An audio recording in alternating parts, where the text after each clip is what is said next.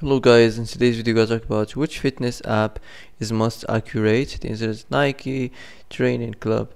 So that's for today. I hope this is the answer you've been looking for. If you like this video, don't forget to like and subscribe and see you in the next video.